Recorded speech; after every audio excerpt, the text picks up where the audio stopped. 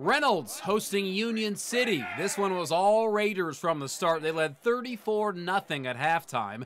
Third quarter, more of the same with the tone set by the defense. A big stop from Rocco John Danello and company.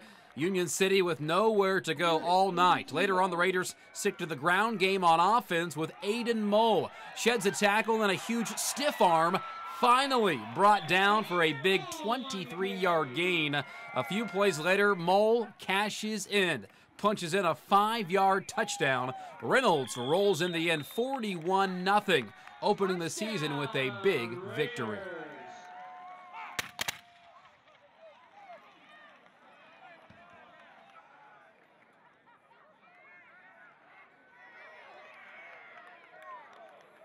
Sean O'Hara.